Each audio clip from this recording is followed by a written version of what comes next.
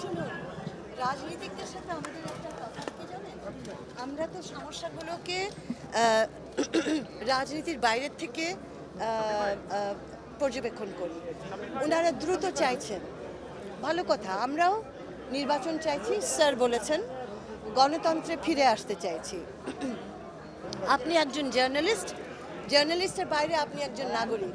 আপনি বলেন যে ধ্বংসস্তূপ তৈরি হয়েছে। সেই ধ্বংসস্তূপের উপরে এই মুহূর্তে আমরা নির্বাচন করতে পারব?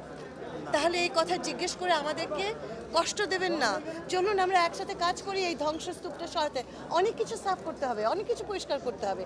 তারপরে আমরা নির্বাচন করব। কেউ যদি আমাদেরকে বলে, এক্ষুনি নির্বাচন দাও, তাহলে আমি সন্দেহ করছি।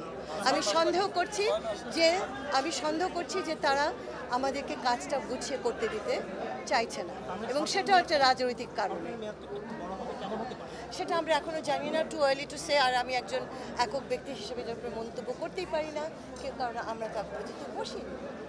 তবে we will give a best এবং স্যারকে আমরা আমাদের জীবন দিয়ে দেবো, আমাদের গুরুকে আমরা আমাদের জীবন দিয়ে দেবো।